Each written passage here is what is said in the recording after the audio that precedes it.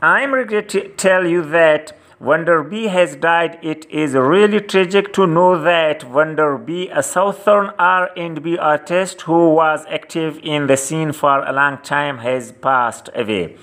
The people wish to know about his death issue before his demise.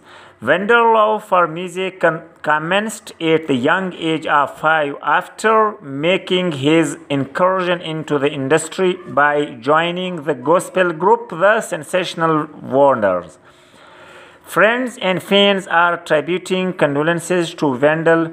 I also express my deep condolence to Wendell's family, fans, and friends.